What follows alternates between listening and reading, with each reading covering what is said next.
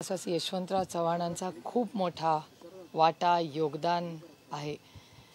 आणि माझ्या राजकारणात आणि समाजकारणात एक आदर्श गुरु म्हणून ज्यांच्याकडे आम्ही सगळेच बघतो असे कैलासासी यशवंतराव चव्हाणांना वंदन करण्यासाठी नतमस्तक होण्यासाठी वर्षातून मीही अनेक वेळा कराडला येत असते.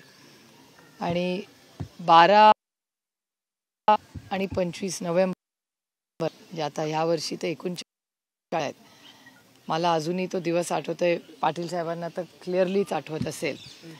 की माझ्या आयुष्यात मी माझ्या वडिलांना म्हणजे अतिशय हताश दुःखी किंवा कोसळताना इमोशनली कधी पाहिलं असेल तर तो हा दिवस. मला अजूनही तो दिवस माझ्या आयुष्यात कारण का तेव्हा एवढं काय आम्हाला समजत नव्हतं. वयाने लहान होतो.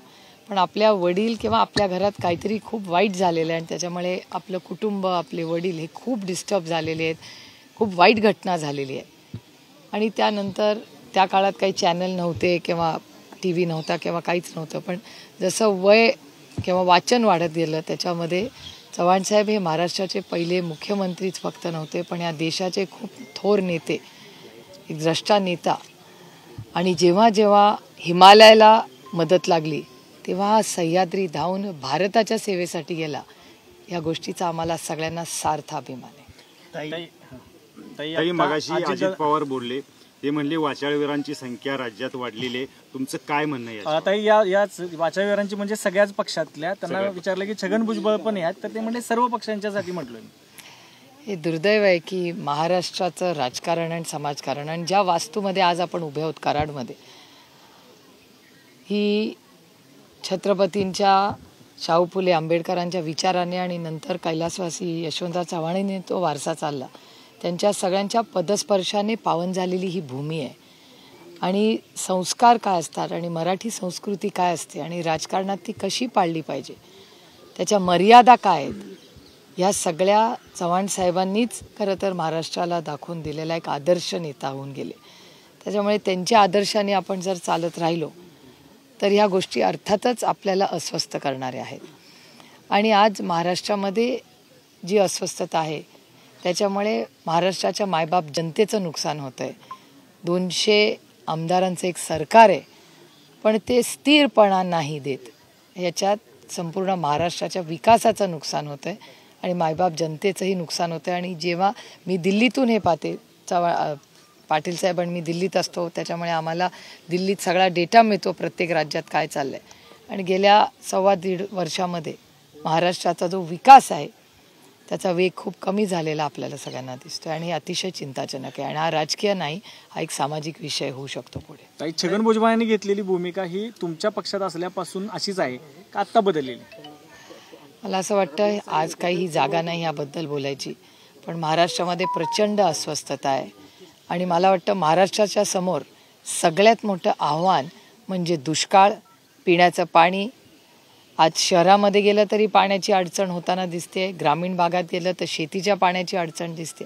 त्यामुळे मला विचाराल तर महाराष्ट्राच्या समोरचं सगळ्यात मोठं आव्हान यावर्षी दुष्काळ आणि पाण्याचं नियोजन असणार आहे. ताई आंतरवली सराटीच्या प्रकरणामध्ये ज्या दोन तीन जणां गुन्हे दाखल झाले होते त्यापैकी काही जणांच्या घरी काडतुसाने बंदूक सापडल्याच्या घटना घडल्या आहेत. कसं बघता एकूणच हे ह्या प्रकाराकडे? नाही हे होम मिनिस्ट्रीचं फेलियर आहे. इंटेलिजन्स असतं या राज्यामध्ये. आणि अनेक वर्ष जे यशस्वी होम मिनिस्टर राहिले या टर्ममध्ये असं काय झालं आहे की त्याच होम मिनिस्टरचं काम त्या दर्जाचं आपल्याला दिसत नाही. याचाही विचार आपण सगळ्यांनी केला पाहिजे. प्रश्न नीट राज्य सरकारला हाताळता आलेला नाही असं वाटतंय मग अर्थातच. Data speaks for itself तुम्ही हा प्रश्न विचारताय मला याचाच अर्थ तो होतो ना. मराठा समाज धनगर समाज लिंगायत समाज आणि मुस्लिम समाज या सगळ्यांना आरक्षण देऊ किंवा त्यांच्याशी चर्चा करून मार्ग काढू गेले दहा वर्ष भारतीय जनता पक्ष ज्यांना मी भ्रष्ट जुमला पार्टी म्हणते ते भारतीय जनता पक्ष होते. जेव्हा अटलजी त्या पक्षाचे नेतृत्व करत होते सुषमाजी होत्या तेव्हा राजनाथ सिंगजी पक्ष बघायचे गडकरी साहेब पक्ष बघायचे. स्वर्गीय आमच्या सगळ्यांचेच प्रिय अरुण जेटली साहेब हा पक्ष बघायचे. त्यावेळेस तो भारतीय जनता पक्ष होता. आज दुर्दैवाने या सगळ्यांनी जे योगदान दिलं किंवा असंख्य या देशातल्या कार्यकर्त्यांनी ज्यांनी भारतीय जनता पक्षाला आजपर्यंत सत्तेत आणलं त्या कष्ट करणाऱ्या लढणाऱ्या सगळ्या भारतीय जनता पक्षाचे पदाधिकारी नेते आणि कार्यकर्त्यांनी जे कष्ट केले त्याच्यावर पूर्णपणे आज केवढा मोठा बदल त्या पक्षात झालेला आहे. आणि ती आता भ्रष्ट जुमला पार्टी झालेली आहे दुर्दैव आहे त्या पक्षाचं. आणि त्या कार्यकर्त्यांनी ज्यांनी इतके वर्ष संघर्ष केला. ताई ताई मराठा आरक्षणाच्या निमित्तानं किंवा इतर आरक्षणाच्या निमित्तानं जाती जातीचं राजकारण वाढू लागलेलं आहे. जरांगे पाटलांनी एक मोठा आरोप केला होता की भुजबळांचा जो कट आहे तो जातीय दंगली घडवण्याचा आहे. आपल्याला वाटतं का असा कट असू शकतो आणि याची खूप मोठा अ, फटका राज्यातल्या जनतेला बसू शकतो? हो अर्थातच. तुम्ही वर्तमानपत्र वाचली तर तुमच्याच सगळ्यांच्या चॅनल आणि वर्तमानपत्रातनंच वाचण्यात मला आलेलं आहे की महाराष्ट्रामध्ये प्रचंड अस्वस्थता आहे. आणि ज्या पद्धतीने सत्तेत असलेले लोक बोलतात. आम्ही तरी विरोधक आहोत. पण दोनशे आमदार असलेलं मला खरं या वास्तूमध्ये खोका शब्द वापरायचा नाही कारण का आमच्या संस्कृतीत तो बसत नाही.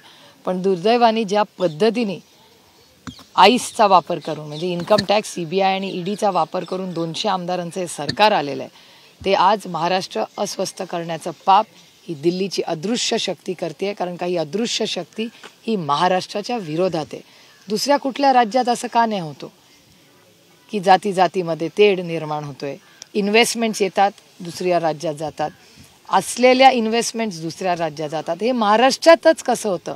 कारण का केंद्रात एक अदृश्य शक्ती आहे ज्याला महाराष्ट्राचं महत्त्व देशामध्ये कमी करायचं आहे आणि ते फक्त राष्ट्रवादी काँग्रेस किंवा शिवसेनेपुढे सीमत नाही आहे भारतीय जनता पक्षाच्या नेत्यां मराठी नेत्यांवरही ते घात करतायत. त्याच्यामुळे मराठी माणसाच्या विरोधात केंद्र सरकार आणि अदृश्य शक्ती एक मोठं षडयंत्र महाराष्ट्राच्या विरोधात करते. जरांगे पाटलांचं पुढचं टार्गेट नेता म्हणून भाजप असेल का आणि त्याच्याबरोबर देवेंद्र फडणवीस असतील का? असं वाटतंय का तुम्हाला? टार्गेट वगैरेचा विषय नसतो.